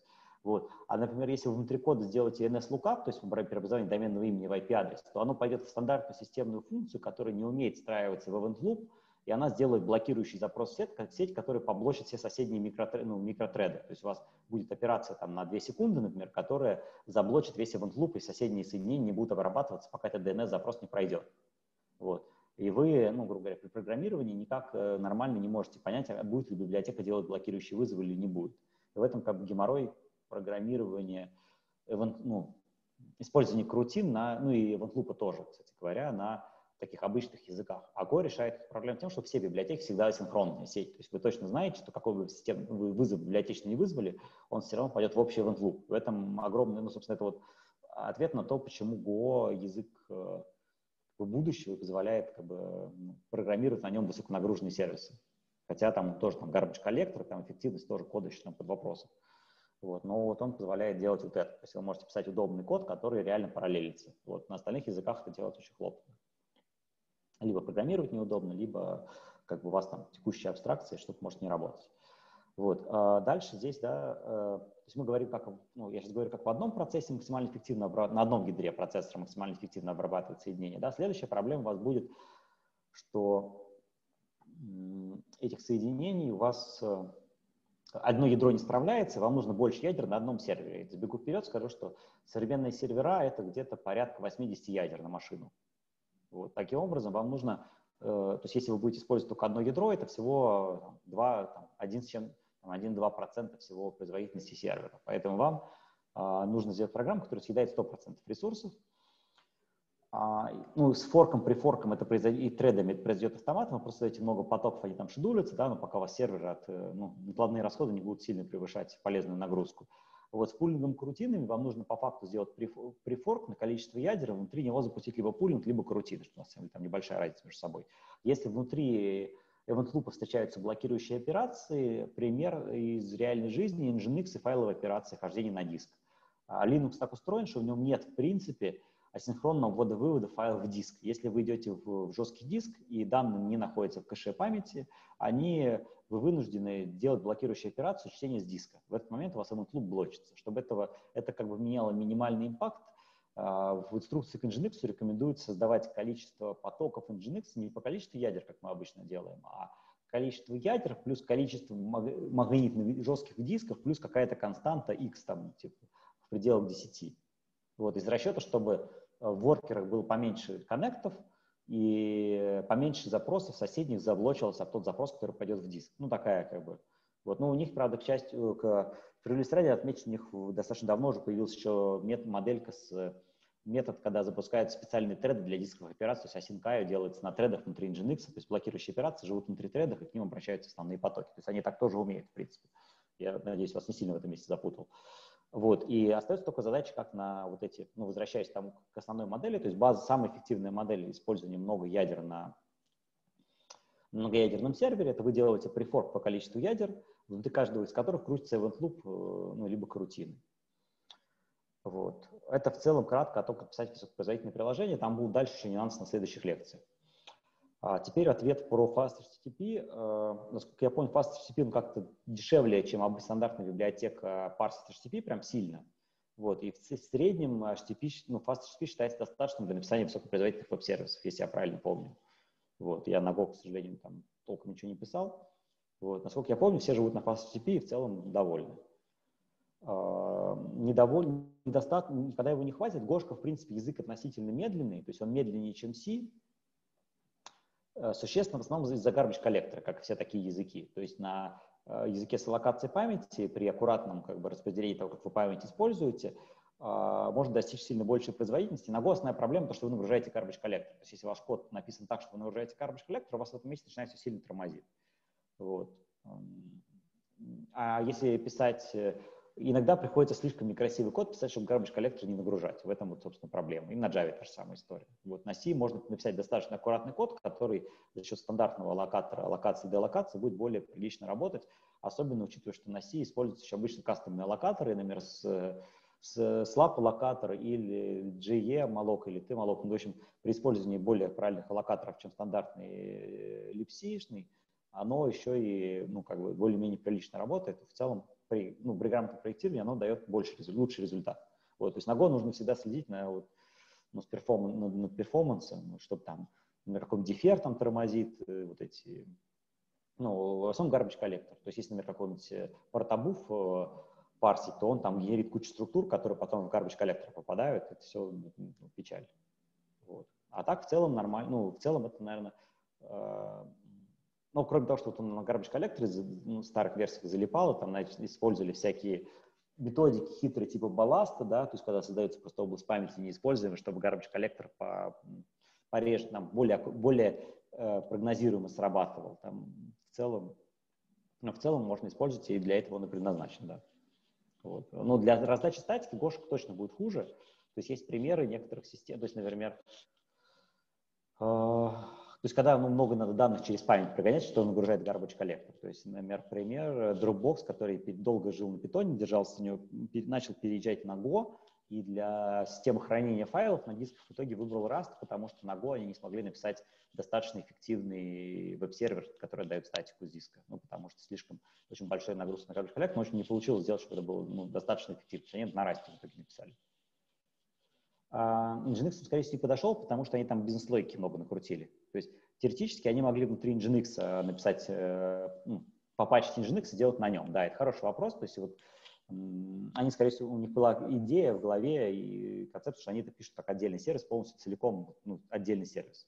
Вот. В целом, то есть если бы я это делал, я бы это ну, запачил Nginx том или ином виде. Ну, то есть, скорее всего, это было бы эффективнее. Nginx, кстати говоря, тоже не супер эффективно работает, потому что у него там много есть очень хороших дизайнерских ну, архитектурных решений, локатор там удачный, и там взаимодействие между процессами, но а, в силу того, что у него достаточно большое количество уровней обработки, которые обрабатывают HTTP-запрос, а, если прям все убрать ненужное и захардкодить все прям в статике, то там в целом должно быть, э, можно сделать быстрее, процент на 20-30 это просто его будет менее удобно поддерживать и там развивать ну, как бы функционал накручивать. То есть, в принципе, где-то ну, там запас на несколько десятков процессов, процентов, которые можно ускорить, точно есть. Они в основном за счет того, что там очень большой конвейер того, что, в принципе, происходит запросы. Там регулярные э, рерайты накладываются, заголовки можно переписать, там тело можно переписать, но даже если этот обработчик не вешаешь, там все равно какое-то количество операций проходит. Вот. То есть он в целом еще можно там, ну, выжить еще что-то. Ну, а так он, да, достаточно эффективен, то есть его можно считать бейзлайном, то есть, ну, как бы, э, бенчмарк, то есть то, что считается быстрым веб-сервером. Вот пример э, веб-серверов, которые, собственно, умеют работать в неблокирующей обработке, достаточно много было. То есть это Nginx, э, вот самых популярных, там были всякие Light там и прочее. Их уже, ой, я здесь ошибся, ну, в общем, их было много, я сейчас все убрал, потому что они все уже не в реальной жизни. Но, в общем, в момент расцвета этих Nginx, их таких веб-серверов было там около десятка, наверное, разных. А, которые делали асинхронный ввод-вывод, но Nginx всех победил по очень простой причине, что он мог, использовать несколько ядер. То есть Исоев это очень долго не хотел делать, а, его практически заставили, то есть ему все писали в рассылку, что это очень нужно, это все, ну, он поскольку был приближен как бы к крупным интернет-проектам, которые Nginx использовали, в какой-то момент его смогли таки убедить, он очень не хотел это делать, он это сделал, это как бы была так фича, которая ну, помимо удобных конфигов и в целом это все истории, что это удобная, ну, удобная настройка, наличие обработки многих ядер и удобные конфиги – две вещи, которые Nginx э, сильно улучшили относительно, ну, относительно других веб-серверов, которые тоже умели пулинг, и в итоге он как бы стал самым главным. Ну, то есть его гибкость, конфиги, там всякие модули, SSL, терминация и прочее. Вот, то есть остальные остались как бы в забвении, хотя они в целом были ну, не хуже в плане отдачи статики как бы с диска из одной папочки. Так, а, значит, доля веб-серверов можно посмотреть, да, поскольку конкурентов реальных нет, Apache падает, то есть, который был Nginx растет. Вот, ну, в общем-то, все. Как бы, то есть ничего больше не происходит в этом месте. Там с Nginx сейчас будет худо еще, что его купили эти ребята из балансеров, то есть они как бизнес весь свой продали, ну, фактически. И а, компании, которые занимаются коммерческими балансерами, сильно заинтересованы в развитии open source. То есть это скорее очень похоже на покупку MySQL Oracle. То есть мы как бы закрывать этот проект не будем, но будем контролируемо его развивать. То есть в этом плане э, все инвестиции Nginx, то есть он там столько миллионов стоит, вся эта история, она как бы, э, ну, они еще очень, в основном зарабатывали на коммерческом балансе, то есть в целом развитие Nginx кажется, что не ускорится от этого, а может даже замедлиться. То есть у него как бы есть проблемы со скоростью, потому что HTTP2 они там не очень поддерживают и не очень стараются, они не все быстро делают, в общем, там есть, другого нету, как бы, да, но там не все идеально. Вот, собственно, разработка веб-сервера, да, э, используя CPU, высокая производительность, там методика я там дальше уточню, в одном месте распишу. Значит, я хотел бы немножко остановиться на литературе. Давайте отсюда начну. А, значит, в принципе, старая статья, это то вот эта формулировка проблем 10 тысяч соединений, C10K проблем, часто это уже не обновляется, страничка, когда-то там можно было интересно всяких ссылок подчеркнуть. А, в принципе, вот эта проблема о том, как перешли от того, что на сервере могло работать там несколько десятков пользователей, к тому, что на нем могло работать несколько там там больше 100 тысяч пользователей на одном физическом сервере. Это как раз вот то, как менялись э, библиотеки, операционные системы, всякие разные куски, того, чтобы это все заработало, и оборудование аппаратное. Значит, очень хорошая лекция вот по тому, как писать высокопроизводительные приложения от Игоря Сысоева э, в МГУ уже 11 года, уже достаточно старенькая. Сравнительный анализ архитектур серверных приложений. Может быть, может, есть более свежая версия, надо поискать. Там она, в принципе, там про дисковые треды уже говорили. То есть в целом ничего такого принципиально нового не появилось. А, кроме там, ну, в общем, остальное вам я там где-то в другом месте расскажу, это не так важно. HTTP протокол RFC, RFC со всеми фичами заголовков вам надо знать, потому что вам это поможет в проектировании клиент-серверного взаимодействия, про это мы будем говорить. Ну и в реализации веб-сервера, конечно же, тоже. Значит, по литературе, а, вот здесь у меня старый список, там более новый. В общем, самая главная книжка, которую вам надо прочитать по этому курсу, это сайт Reliability Engineering. Это реальная книжка, по которой просто задают вопрос на собеседовании. То есть, если вы ее читаете, идете собеседоваться на SRE, вам просто по этой книжке вопрос задают. Ну, в моей практике, то есть я, собес... то есть я собеседовался в компании Booking.com на SRE э, в Амстердам, даже офер получил туда, не поехал. Э, прям вот просто мне вопрос по книжке задавали. Потому что э, как это выглядит компании, которой нет этого, они не знают, что с этим делать. Они берут, читают книгу, такие, о, Google книжку написал, пойдем почитаем. Прочитали книжку, накидали, нахватались идеи, идут по этим идеям спрашивают, потому что им больше спросить нечего, у них в этой области экспертизы нет. Они берут там первого человека, который это понимает. Ну, либо там второго, ну, в общем, э, это точно совершенно, там много полезных идей, это прям очень сильно перекликается с нашим курсом, то есть там не все прям по, по курсу, но вот все, что касается, это вот эксплуатационная часть, она вся там, то есть там не разбито, как сервисы между собой, ну, как на сервисе разбивать, но я про это тоже особо не рассказываю. Я вам скорее рассказываю о том, как делается нагруженный сервис, исходя из требований эксплуатации. То есть, условно говоря, вот проект выглядит в целом, то есть мы обеспечиваем отказоустойчивость таким образом, баланс делаем таким образом, а теперь напишите софт, который в этих условиях сможет работать. То есть это вот так скорее выглядит. Вот, в этом плане эта книжка очень помогает, то есть ее обязательно всем прочесть, то есть она у вас идет как домашняя, ну, как основная книжка к курсу. А, там можно читать не все главы, она на английском, а, ну, там нормальный, понятный язык, и там не все главы одинаково полезны. Есть, есть какие-то про, про корпоративную культуру, которые вообще булшит, как бы, есть прям классные, где прям очень важные вещи говорят, какая-нибудь балансировка нагрузки, прочее там. Сайт Reliability Engineering, вот это, да? Да, да, вот первое, первое в списке. Они еще сделали вторую книжку, которая называется Workbook, к ней же. Я еще не прочитал, поэтому, ну, надеюсь, может, в этом семестре прочитаю, там какие-то там кусочки из нее дам. Вот, э, она скорее больше про практику внедрения. То есть это первое, это теория, то есть вообще как, ну, какие аспекты надо учитывать в проектировании, скажем так, да, то есть там больше про практику, про эксплуатацию, но на самом деле это эксплуатация, она же как бы, если ваша система к этой эксплуатации не готова, она же вам не поможет, да, то есть это скорее про требования к софту. Вот, а вторая это вот э, какие-то практики, ну, протоколы там, прочее, то есть какая-то уже такая рабочая книга по внедрению, потому что, как они пишут в предисловии, что мы как бы написали теорию, а как это внедрять не написали, у кучи людей проблем, поэтому напишем еще вторую книжку. Вот. Из особенностей ее напис... она э, написана разными людьми, разные главы написаны разными людьми, поэтому это такое письмо дяди Федора немножко, да, из э, Простоквашина. Очень разные главы по стилю, по полезности, но некоторые прям супер хорошие. Вот, там, то есть, скажем так, а эта книжка открывает вам то, то есть краткий экскурс того, что там есть. Там есть описание гугловской системы Borg, которая про образ Kubernetes, который потом Google написал для, для, для внешнего мира, такой же, как внутренний. А, проект Borgmon, который про образ Прометея, который написали люди, прочитав гугловые white paper, а, про образ гуглового клауда, Hadoop, про образ etcd как базы данных для сохранения конфигураций, а, про образ э, Hadoop как э, систему хранения большого количества файлов, ну, данных, описывается все как архитектурное решение, все методы обеспечения, ну, балансировка нагрузки, обеспечение отказоустойчивости, в том числе там, ну, глубокое эшелонирование бэкапов, и реагирование на инциденты, ну, в целом, как бы весь спектр как бы, того, что вы как бы без must без того, что вы ничего, в небольших проектах ничего ну, полезно. То есть это в целом вам она пойдет как ну, такая, ну, даже не, на, не настольная книга, там, скорее, мне кажется, одного раза прочитать достаточно, чтобы там, ну, там все, все понятно. Вот скорее понимание того, почему вот современный мир устроен именно так, почему все используют Kubernetes, почему там используют Hadoop, не знаю, да, вот это все вот ну, такие прям основы основ. Вот. Я там прям какие-то главы прям что их прям обязательно прочитать, какие-то, ну, говорю, вы можете просто проскипать то, что вам не интересно, там как бы ничего такого. А, о, кстати, переведена, да, кидайте куда-нибудь в этот в чатик, я ее добавлю в общий курс. То есть у меня все книжки там, ну, я покупал их, они у меня в, в слайдах, я выклад, уже выложил, ну, слайды я не выложил, выложил, здесь ссылка на лекции, в блоге есть а, книжка на английском, прям выложенная в этом, в, в EPUB. То есть, в принципе, ну, все книжки, которые у меня в курсе есть, я их... А, инвой будет. Зубр не знаю, что такое, сейчас запишу себе. Вот инвой мы в моей, ну, вот в моей команде мейловой мы активно внедрили, использовали и соседям еще продали по мейлу, то есть его начали после нас использовать. Слайды можно старые взять из блога, я их, говорю, не переписал, а, я в них сейчас добавлю только даты сдачи домашек, чтобы это было официально и выложу. Вот. То есть можно в блоге полистать до первой лекции. Я вот сейчас слайды рассказывал старые, прошлого, прошлого прогона в них поменяются только даты сдачи домашки. Ну, чтобы просто старые не выкладывать. Потому, потому что я уже их рассказал, поменять их как бы задним числом уже смысла нет. Так. Еще вопросы?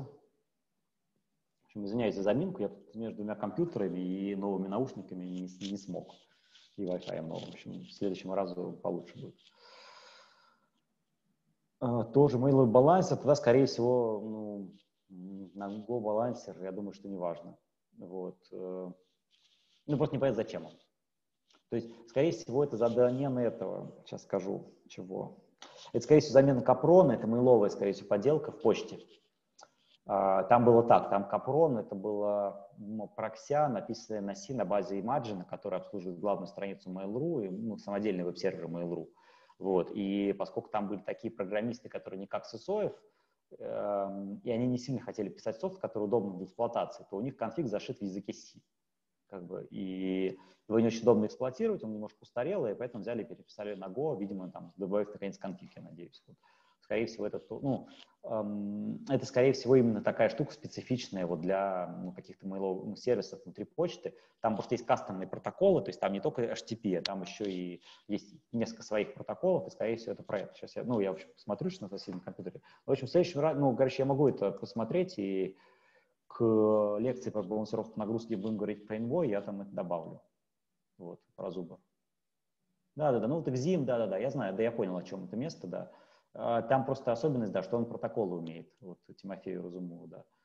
Он умеет всякие э, протоколы, не HTTP, скорее всего, в этом дело. А, есть балансеры, которые их умеют, например, Nginx тоже умеет часть почтовых протоколов, но в общем, есть сложность. Ну, в общем, а поддержка протоколов — это, в принципе, более вот этих балансеров, поэтому в итоге приходится все это делать на HTTP, потому что ну, как бы со своими протоколами хлопот научиться с этим всем. Вот.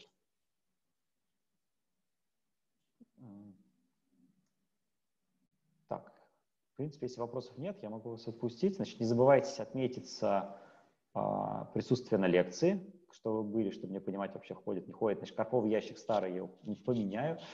А, значит, мне очень важно от вас получить обратную связь по занятию, что понравилось, что не понравилось. Пожалуйста, пишите в, там, в отзывы о занятии. А туда же можно писать все пожелания по курсу. То есть вот я более-менее обозрел, что, о чем мы будем заниматься. Я не говорил детали, да, то есть как мы это будем делать. Да. А в целом можно все писать в кучу, я систематизирую, там нужные слайды добавлю. Вот вопросы такие, типа Зубра там и прочее, да, то есть э, все вопросы, которые касаются подбора технологий, правил эксплуатации, организации команд, это все относится к курсу, их все можно задавать, то есть я их буду, ну, я их просто себе раскидаю по тому, где они находятся в лекции, буду про них говорить, и э, в процессе можно будет обсудить, да, обсудить уже там, детали, да, ответы и так далее. Вот, в общем, жду как бы, максимум обратной связи, пишите, все буду систематизировать и будем общаться. Так, а, чатик у нас какой-то есть проект, в общем, я там решу, там будет ли проект чатик по, теле, ну, по отдельно по, этих, по хайлоуду или нет. Я там, наверное, может быть, в ближайшее время создам. Если будет, ну, в общем, я, это, это я все разберусь. Так, все, так, всем спасибо за внимание. А, жду вас на следующей лекции. А, домашку можно будет начинать делать там завтра, когда я занятия выложу. Так. Так.